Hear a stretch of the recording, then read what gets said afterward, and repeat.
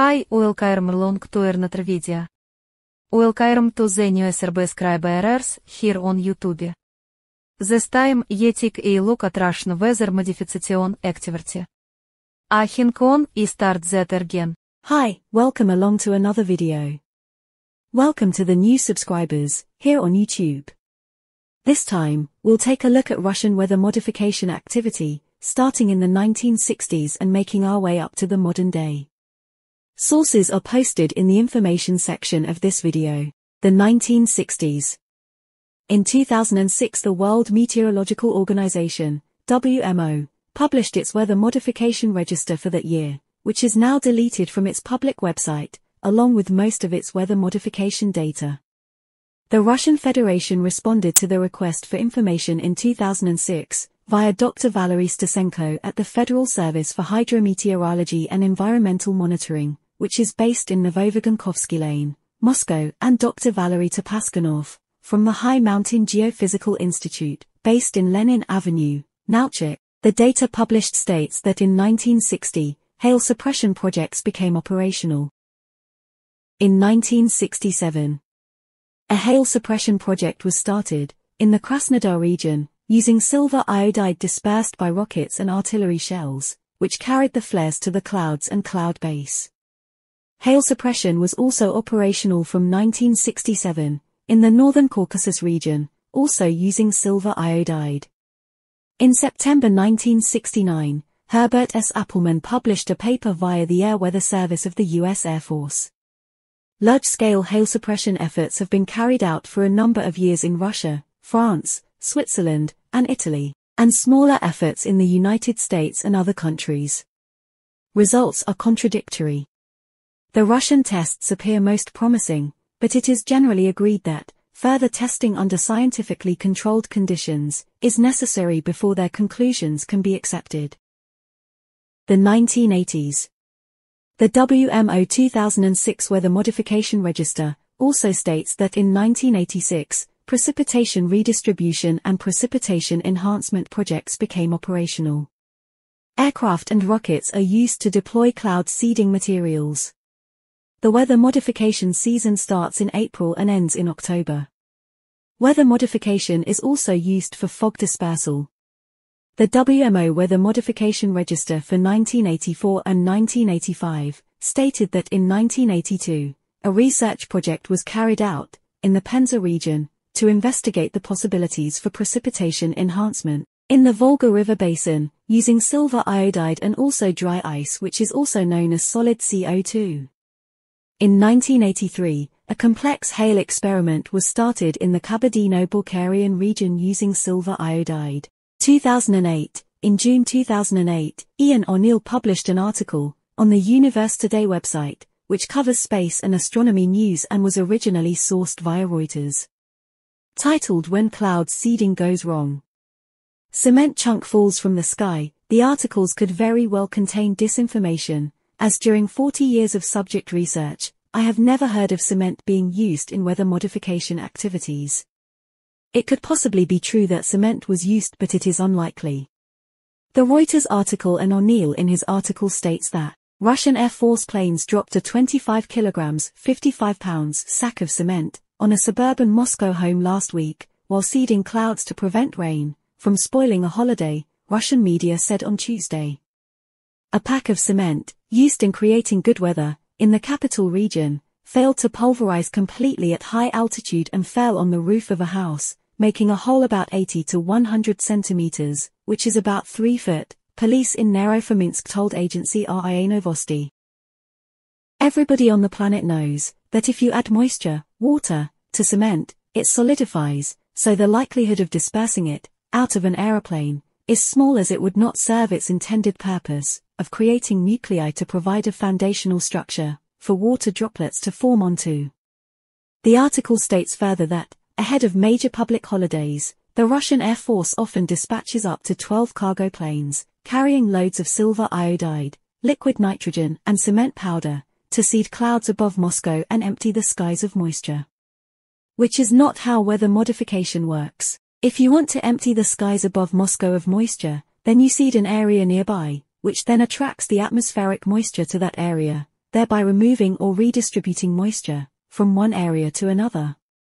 In this case, the target area would be surrounding Moscow and atmospheric moisture would be attracted away from the Moscow area and would fall as rain, due to moisture accumulation in areas outside of Moscow.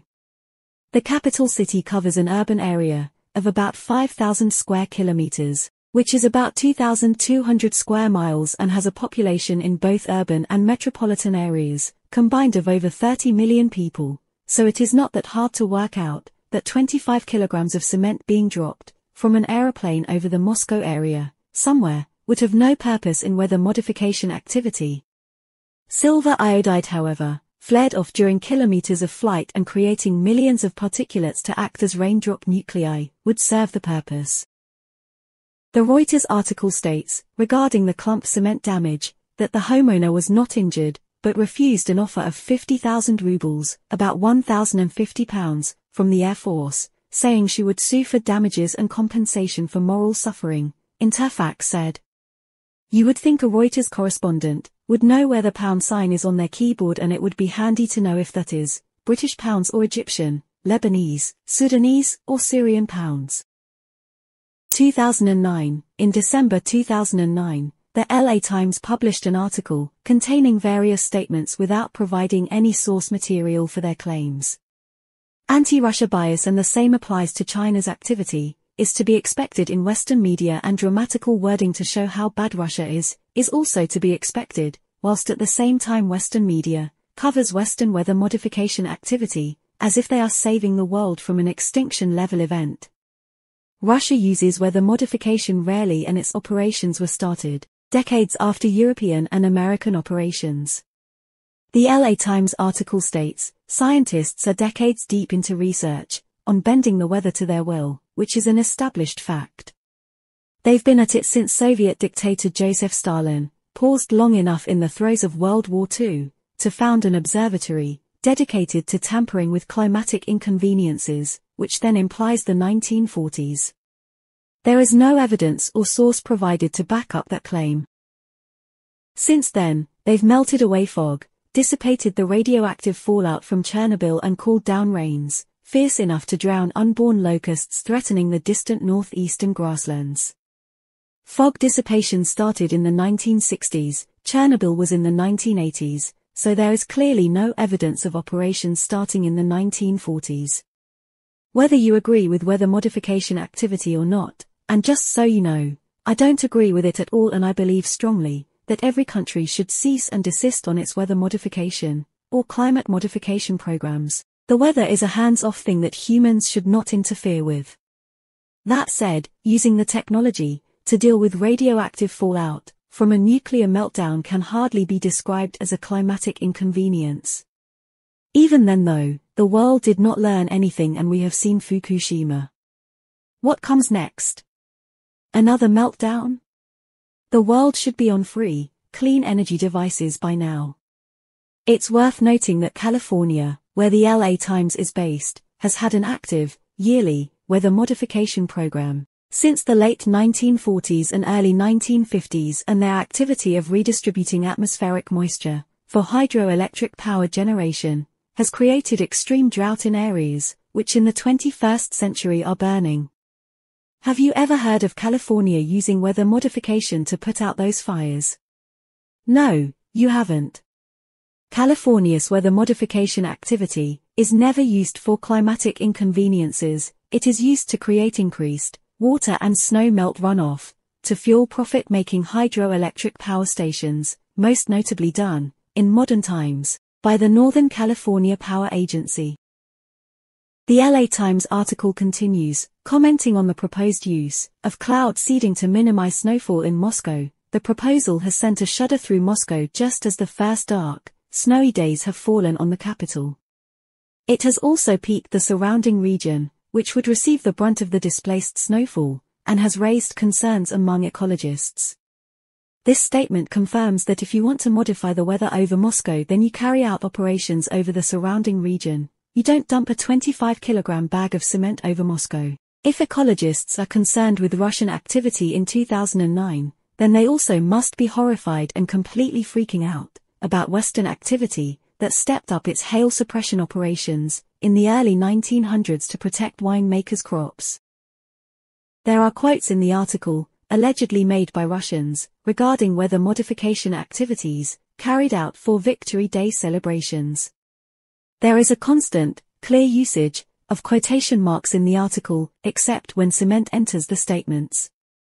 All it takes, he says, is sacks of cement, 500 grade, to be precise.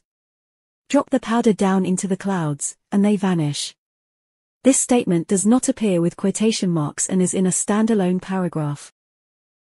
One paragraph stands out the most in this article. In much of the world, weather and cloud research is focused on preventing hailstorms, tornadoes, droughts and the like. Not that Russia is the only country that has used it to ensure sunny public holidays. In Beijing, clouds have been chased away from the Olympic ceremonies and other celebrations. Russia and China are the only countries mentioned in this article. Note. In reference to the rest of the world the disinformation statement that it is weather and cloud research and it is not termed correctly as weather modification activity. The rhetoric is clear, Russia and China use weather modification for party days and the rest of the world use it to save the world from ELEs. There is no mention of Western profit forcing or alcohol production. 2010, enter, the UK's military propaganda outlet, the BBC. The BBC was involved with and helped create a military intelligence operation to deliver coded messages to troops and propaganda to its adversaries via its World Service during the World Wars era. It is funded to this day by an enforced license fee payment where anyone in the UK wishing to watch live TV broadcasts has to pay approximately £160 a year for a TV license blind and seriously visually impaired people get a 50% reduction on the fee and they must pay £85 a year. That's about 100 US dollars if they use a color TV. I am speaking the truth there. Blind people in the UK have to pay the TV license. People aged 75 years and older do not have to pay. The UK is the only country in the world that forces citizens to buy a license to watch television. No training is given to receive the license, you just buy one. Licenses always require training. Citizens in countries that show BBC programming do not have to pay and are not required to have a license to watch the programs. The UK has never exited warfare since the Second World War. It is currently at war in the Middle East on behalf of Israel and in Eastern Europe on behalf of Ukraine as per 2024. The UK's Oliver's Travels, a luxury firm based in Clapham, London, offers blue sky cloud seeding for events such as outdoor parties and weddings in the UK, with a price tag of approximately 100,000 US dollars, which is about 80,000 UK pounds. Something that is clearly only affordable and requested by pompous rich people.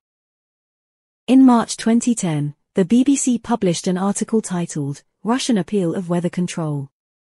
The article states, these seeded clouds never make it to Moscow, where millions are enjoying a nice sunny holiday, or where guests might be dancing at a wedding under the clear blue sky. Some might think that controlling the weather sounds a bit like science fiction. If you haven't read the summary, published on my Substack, or watched the video summary, here on my YouTube channel, in this playlist, about the UK's weather modification activities, which started in the 1940s, then it is worth reading, so a clear comparison can be made, between what the BBC is saying and what the UK has been doing. The USA Today news outlet has been shown recently to publish false information via its fact-checking service in regard to ionospheric heaters and cloud ionization technology being used in Brazil. In October 2010, an article was published by the USA Today outlet via an Associated Press AP article. Russia to seed clouds at 2014 Winter Olympics. The article states that clouds will be dispersed to avoid problems such as those experienced by Canada's Winter Olympics in Vancouver in 2010. No evidence, in 2014, was provided to confirm this activity had taken place. The AP article states that, in Vancouver there was a problem, due to warm weather and a lack of snow. Common sense tells you that if Russia dispersed clouds, there would be no snow clouds available and due to sunshine, snow would melt, due to the warmer weather, which equates to the same issues as Vancouver had. The contradictory statements by the AP do not make sense. There is no mention of Canada's weather modification activity in the AP article. It is known that Canada had already started its weather modification activities by 1954 due to the statement by H. W. L. Absalom in the paper titled Artificial Production of Precipitation for the UK's Air Ministry, MOD. Some reports of cloud seeding in other countries are available. Those countries are Canada, France, India, Israel, South Africa and the United Kingdom, but they are not considered to contain information which adds materially to that given in this memorandum. For those of you not familiar with Canada's program, it is done mainly for hail suppression in the central eastern area of Canada to circumvent insurance claims for hail damage. It is funded mostly by private insurance companies to mitigate claims. You are witnessing the consequences of Canada's atmospheric moisture redistribution program in current times with the extreme fires in Western Canada. 2012, the WMO has removed many of its articles and information in relation to weather modification activities, preferring to keep the subject obscured by only having a few remaining pages on its website. The WMO claims, the page you're searching for no longer exists, it has been moved, or the link is broken. Please note that the WMO public website was relaunched in November 2023. Some pages may no longer exist. We apologize for the inconvenience. That is a lie, the WMO removed pages well before November 2023. If you are seeking WMO deleted pages use the Internet Archive, aka the Wayback Machine. Relaunching the site is an excuse to mask, deleting evidential data.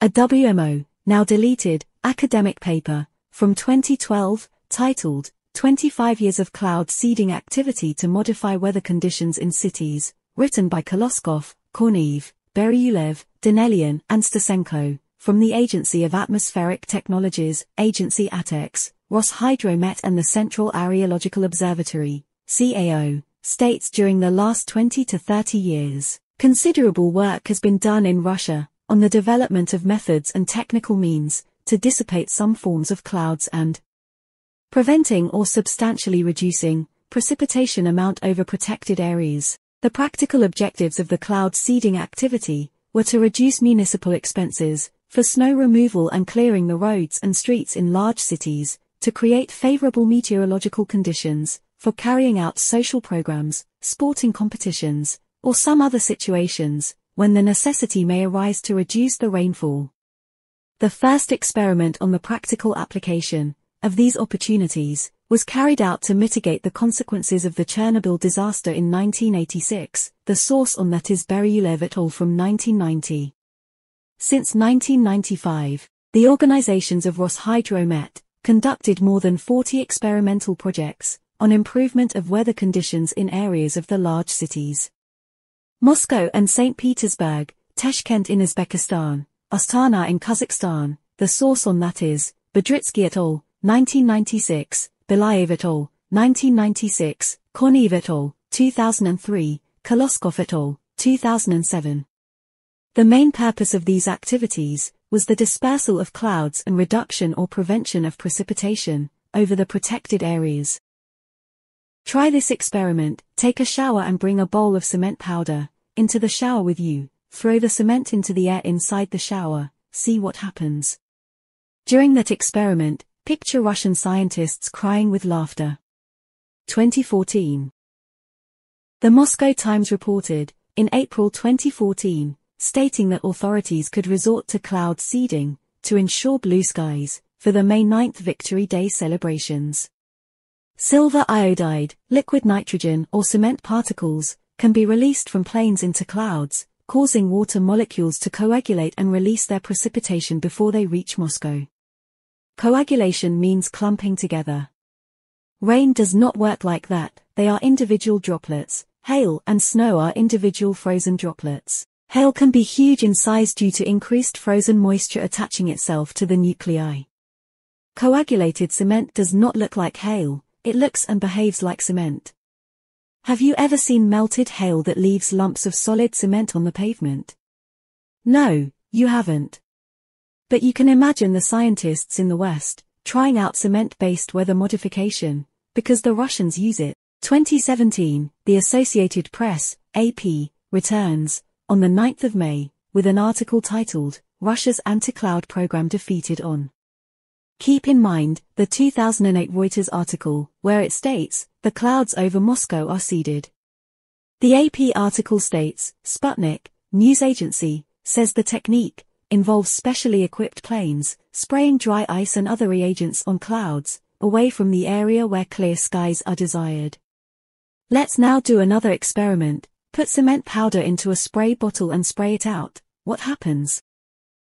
2019, UK viewers of this video won't be able to access the linked YouTube video, as RT News is censored, banned and blocked in the UK. You'll need to use a VPN and set your server to a country that doesn't block Russian news outlets from being viewed by its citizens. The video published by RT News on August 2019 shows a cloud seeding aeroplane that is used to combat ravaging forest fires in Siberia.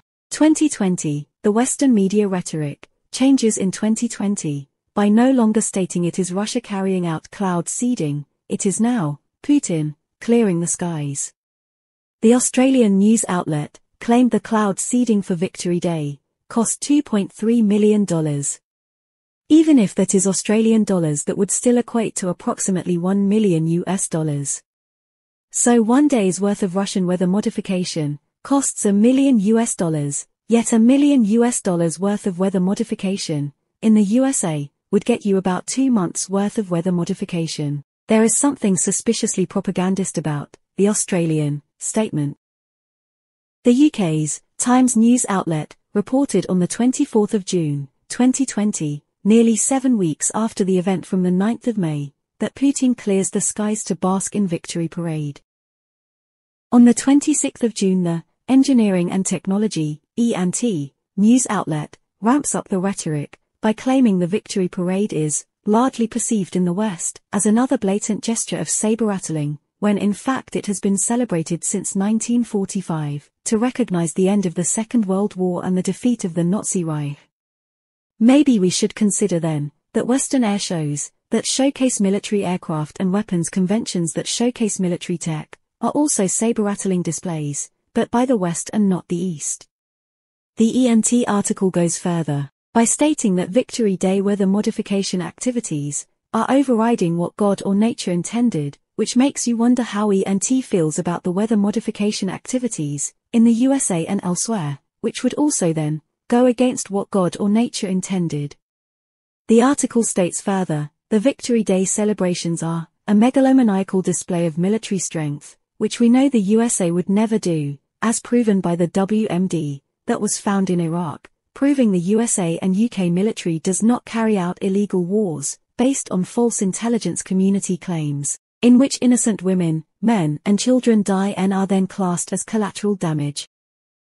On the 10th of July, the UK's Daily Mail news outlet reported that Russia is seeding clouds in Siberia to fight wildfires that have been burning across the country for weeks, reducing them to one third of their size which should be compared to Canada's cloud seeding program to mitigate insurance claims, which is causing wildfires in Western Canada due to drying out the forests and American cloud seeding programs, 4. Profit-making hydropower schemes etc., that are causing drought and forest fires in the western USA areas. The MSN site published a News 18 article on the 10th of July, also covering the forest fires and the cloud seeding being done to deal with it, but that article has since been deleted from its website.